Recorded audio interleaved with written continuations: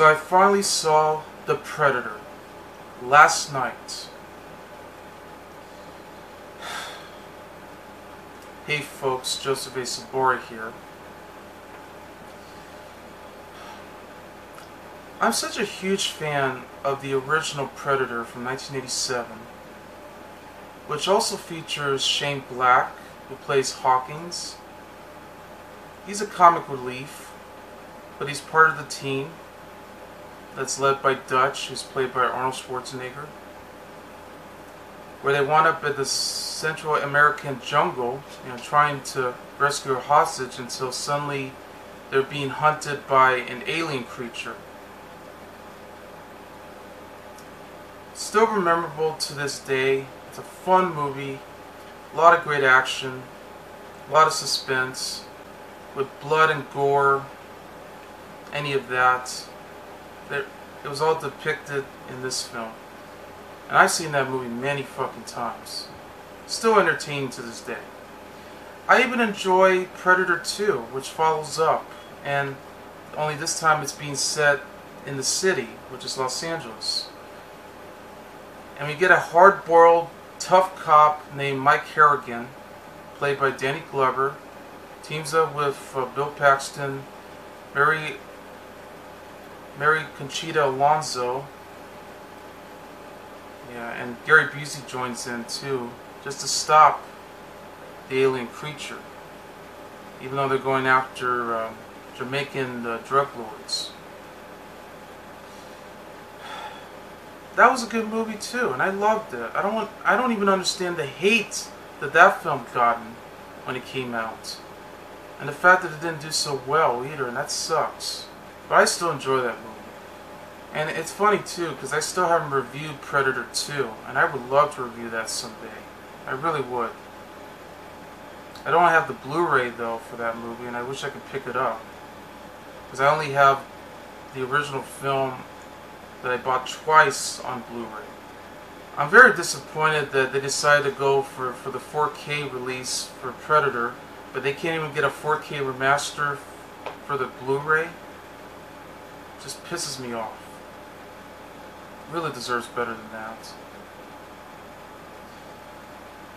And then we got Predators, which I thought um, which I didn't think it was that bad. I mean, to be honest, it's not as good as the first two movies, but I did enjoy it for what it's worth. I mean, it had its problems, I understand. I know the movie was set in the jungle, but it was never meant to be a remake nor reboot. It was just a whole different story. But then we got um, Alien versus Predator. I know this account, but but that's just their whole part of the series here. Along with the sequel, Alien vs. Predator Requiem, which is the worst of the bunch. I just couldn't believe how flabbergasted I was that Shane Black, who not only directed this film, but he co-wrote it with Fred Dekker. Because over 30 years ago, they wrote The Monster Squad, which is a good cult classic movie about a group of kids trying to stop all these monsters from coming back to life. And they actually form a squad, the Monster Squad. And they came up with a lot of memorable dialogues such as Wolfman's got nards. Well, after watching this movie, which is The Predator, I feel like I got kicked in the nards. Yeah. And Shane Black played Hawkins in the original Predator. You know, he was part of the team of Dutch who's played by Arnold Schwarzenegger. And He was the leader of the team where they're about to rescue a hostage that's being set inside the, the Central American jungle. Till suddenly, uh, suddenly an alien creature starts to attack them. And th this is exactly what we went for. Because the cast in this movie aren't interesting at all. I mean, it's really sad that Thomas Jane could have been the lead of this movie. Instead, we get Boyd Holbrook from Logan. Is that the best they could do? You also got Jacob Tremblay playing an autistic son of his. Which, to me, that's really offensive insulting because I actually have autism too. Yes. I mean, what do you think why I posted that video where we went to the Art and Autism events? Yeah. I guess you didn't know that, that I have autism too. But of course I went there because, you know, my sister has Asperger's. And by the way, the kid in this movie has Asperger's in the film. If there's one thing I can't stand in movies, it's having a character who has autism get involved in everything that's happening. Like they become the human targets. I've seen this before with Mercury Rising and even The Darkness. And I hated those two fucking movies that involves the same stupid situation.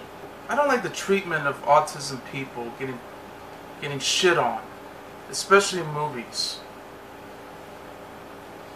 I mean, granted though, I love Rain Man. Rain Man's a good film when it comes to autism, or even the, um, maybe some other films that that follow that. But you don't do this. You really don't. I mean, why why did he have to come up with something this stupid to actually make your kid, you know, actually take take out uh, a package that has uh, the Predator's um, helmet with the gauntlets and all this other this alien technology that's putting into it from the suit, and the fact that he dresses it up for Halloween, and the fact that he gets picked on by two bullies actually saying stupid dialogue like I like a nice juicy Asperger's. And speaking of the dialogue, boy, did they really come up with it really incredibly dumb. Like, like they have, they have dialogue such as "Eat my pussy," or "You're one beautiful motherfucker." Or your mama's vagina should be rated E for everyone. I can't believe I heard that. I mean, sure, it's funny how they had to go for comedy for this movie. I know Shane Black have written a lot of comedy elements in films like Lethal Weapon, come to mind. And I love comedies. And action comedies are actually fun, no matter what. But the way they did it is done in a very poorly way it was so cringeworthy and totally horrible that I just can't believe they had to took the guts to come up with such shitty dialogue. I mean, the original Predator even have great lines of dialogue such as, if it bleeds, we can kill it. I ain't got time to bleed. Or, you're one ugly motherfucker you know, with a gain of uh, loonies, as they call them, for a for a soldier team. And then you get a, a scientist who's attractive.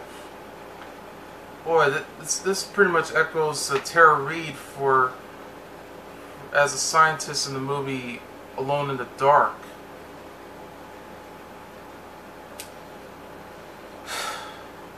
You even got Jake Busey in the film, who actually plays the son of Peter Keyes, who's played by Gary Busey from Predator 2. And he gets a small role. You even got Yvonne Strahovski playing the mother, because this is the actress who was in the Chuck, the TV show.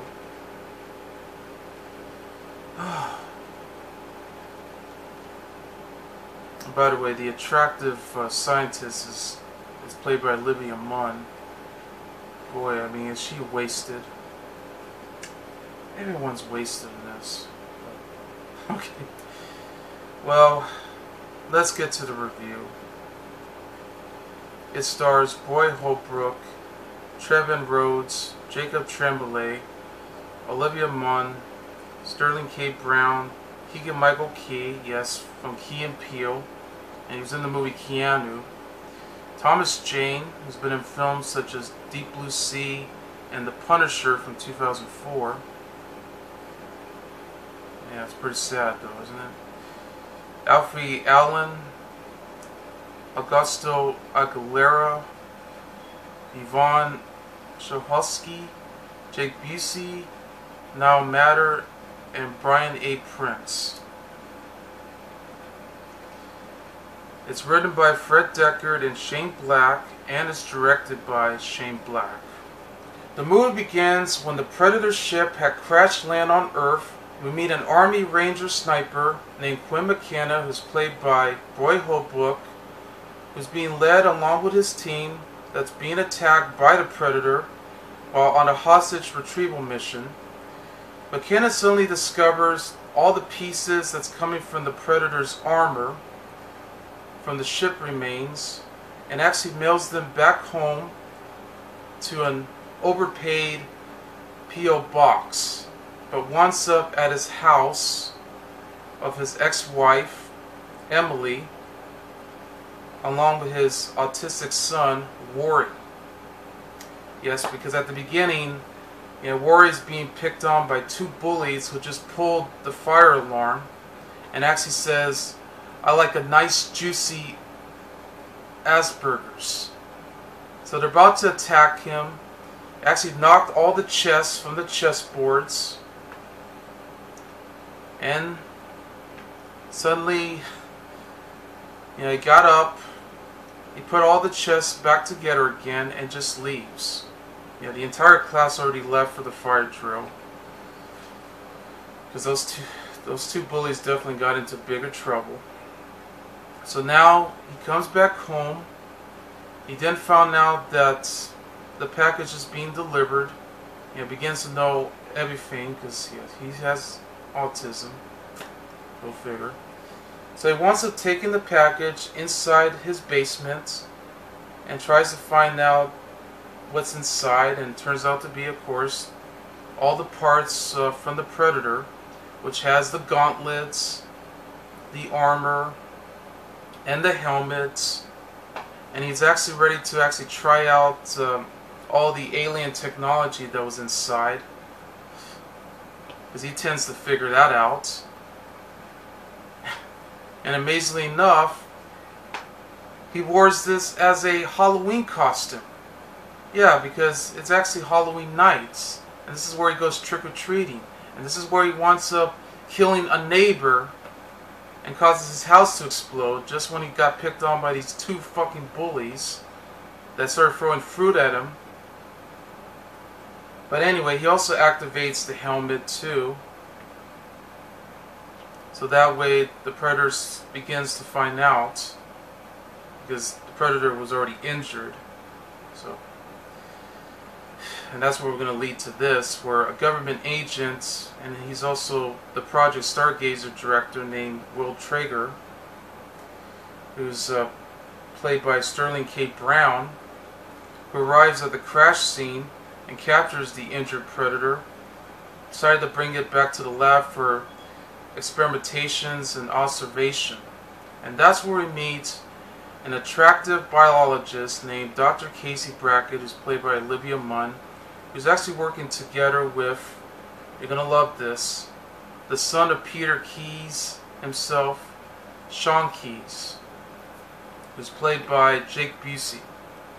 So they actually strip naked, you know, trying to you know, wear their clothes, and they're trying to get some samples coming from the predator. Oh yeah, and, and by the way, they even came up with a stupid joke too for this stupid movie where they should have called this the Predator. They should call it the Sports Hunter or something.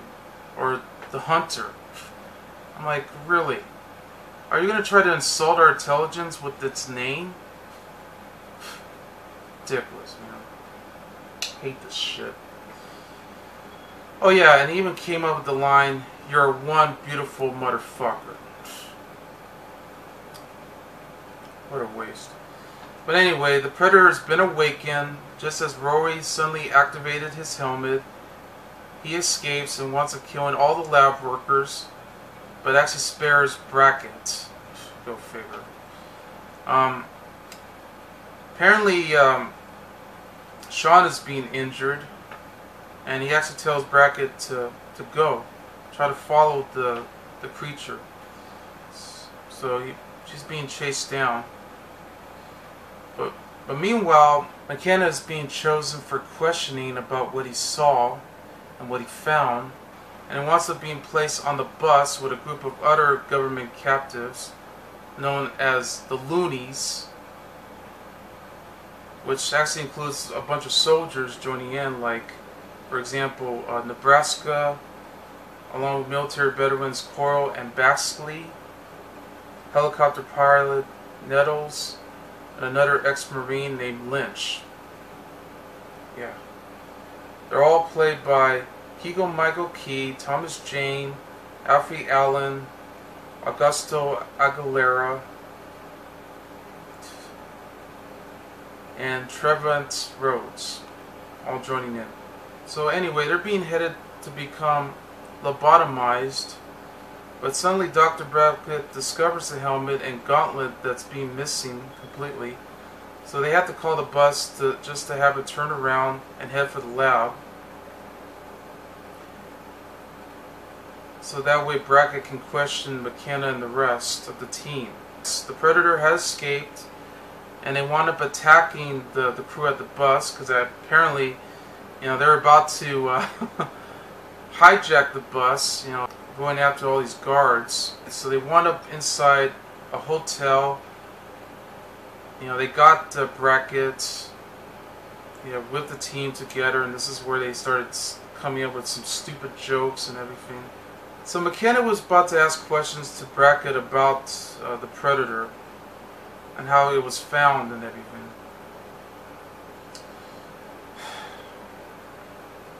And it just leads to bigger trouble too when Roy actually wears the costume, as I mentioned already you know, going trick-or-treating until suddenly he actually spotted a dog too because uh, the same dog uh, he always closes his ears too because the dog barks.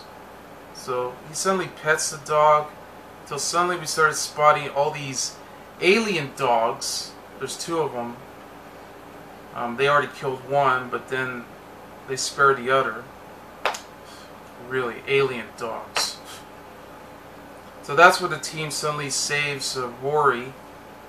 So they're about to go after the other predators. And that's where we started getting the, the giant foot long predator who actually attacked that predator that was going after him.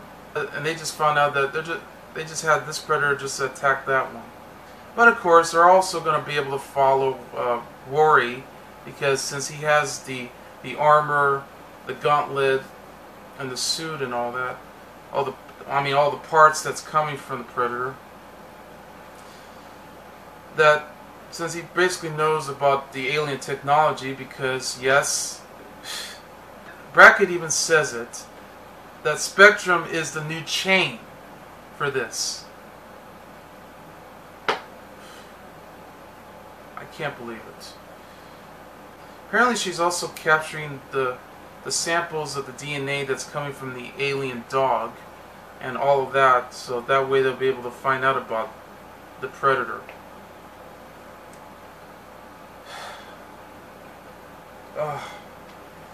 So they continue to go all the way down to the jungle because that's exactly what they have to go for just so they can stop all these predators from coming and also the fact that they're going to take the kid to put him inside the alien ship. Yeah, the Predator ship. So it was up to these guys to actually stop him.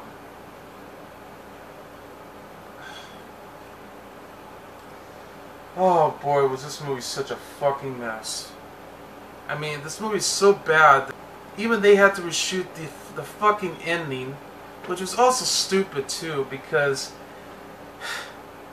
we begin to find out that there's actually the predator killer.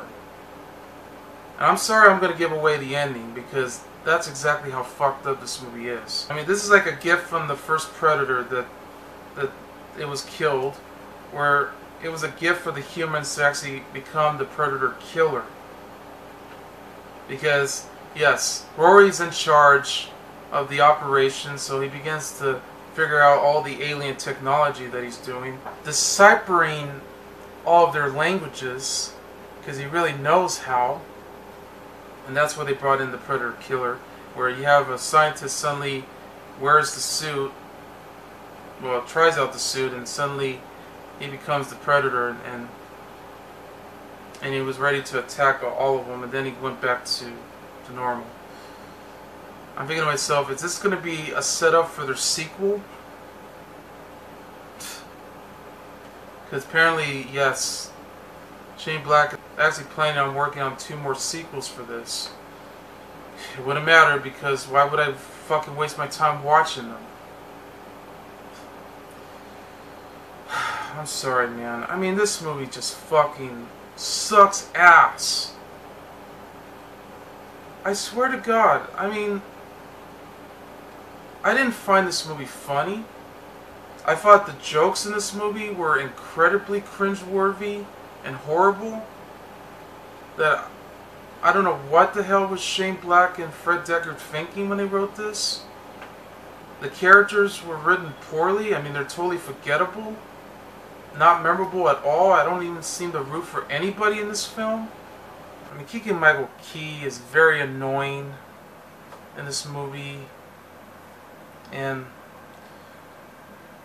Augusto Aguilera just seems like he's just chosen to be you know the wimp of the group and I even felt bad for Jacob Tremblay to actually play the role as Rory. I mean he's a good actor but he really deserves better than this. He was actually in the movie Room in 2005. And he's subjected to this. I already knew that Thomas Jane was going to get killed anyway. And he should have been the leader of the pack instead of Roy Holbrook. I mean, they, they've done nothing for me. Nothing. And you're going to love this. But the alien dog started to uh, fetch and wants to picking up all these bombs so he can actually save uh, Brackett because he's being caught, you know, by the guys trying to find out where the creature is. Yeah, it's almost seemed like they're doing a situation just like how they did it with Predator 2, you know, with, with Peter Keyes. Like, we're trying to, to, either like the guy or hate him. But, so, God damn it. In the jungle scene, you know, where we spotted one predator who looks like he came from the creature of the Black Lagoon. I mean, looks like one. I mean, yes, you get all the predators capturing Quinn's son, and they're about to go all the way on top of the alien ship, where it's suddenly being shielded up, yes, because apparently um, one actually got the sliced up from the shield. Um, Quinn is actually inside the ship while it's been shielded up already. While the other guy is about to actually stop the ship by actually going straight into uh, the wing just to shoot it all up. So that way the ship can go down and that way he can, Quinn can get his son out of there and shoot down the, the predator. And yes, you know that memorable scene where, um, where in the original Predator, where Arnold suddenly was about to go after that Predator, and then he says, "Who the fuck are you?" Is when the Predator was injured, and he was ready to blow himself up, set a bomb. Well, they try to do something like that in this movie, and he just says to the predator, "Who the fuck are you?" And he, and then he says, "Shut the fuck up," and just shoots him. Really, that's the best they can do for a supposedly badass uh, scene. They can't get it right.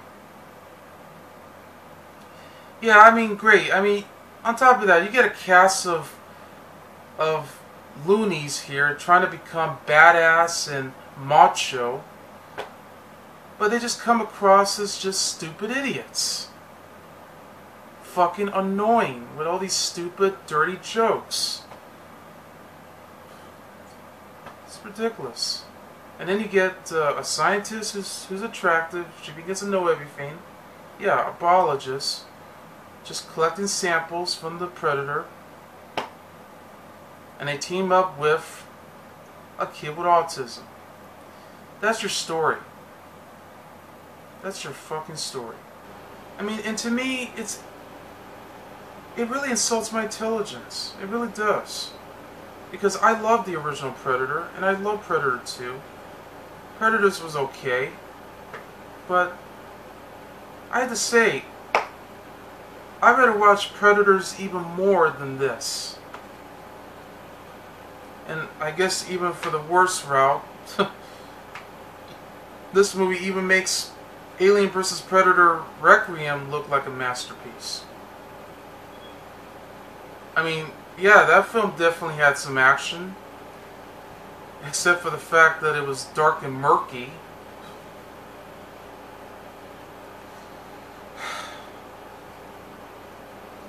You know, I think I'm glad that Schwarzenegger didn't came back because he knew that his cameo was written very shortly. They were even going to get 50 Cent to be in this, which I that would be a whole lot worse to have him. Uh, so I'm glad that didn't happen. I know they were going to get Benicio del Toro, but that didn't work out either. Andrew Jackman did the score for the movie, which apparently had a ripoff of, of the original score by Alan Silvestri. I love that score. I never forget that. Although they still have an echo to the original scores, I think they still put it in. And I always love that score. And that's probably the best thing about this stupid movie. Is the score is that they still have the Alan Silvestri score, but they but the rest of the music was done by him, especially with the ripoff. And maybe the first Predator pretty much echoes um, the original Predator from 1987. So those are probably the only good things I like about that, but the rest just sucks. The rest of the, the whole idea, the rest of the subplot, involving the an autistic boy, you know, discovering alien technology and begins to control it. And suddenly the predators start to go after him. So yes, he becomes a target. Just like Mercury Rising, where a bunch of bad guys started to go after him. Again, man.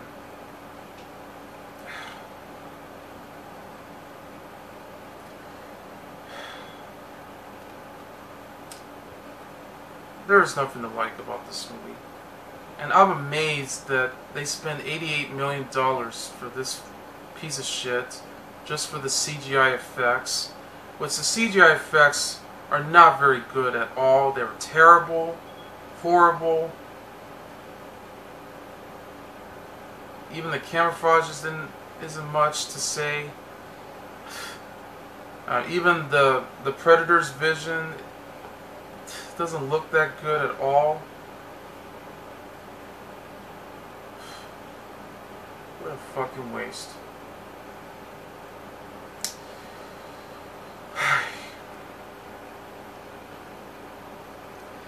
I'd rather watch the original film along with the sequel. I'd rather watch Predators over this.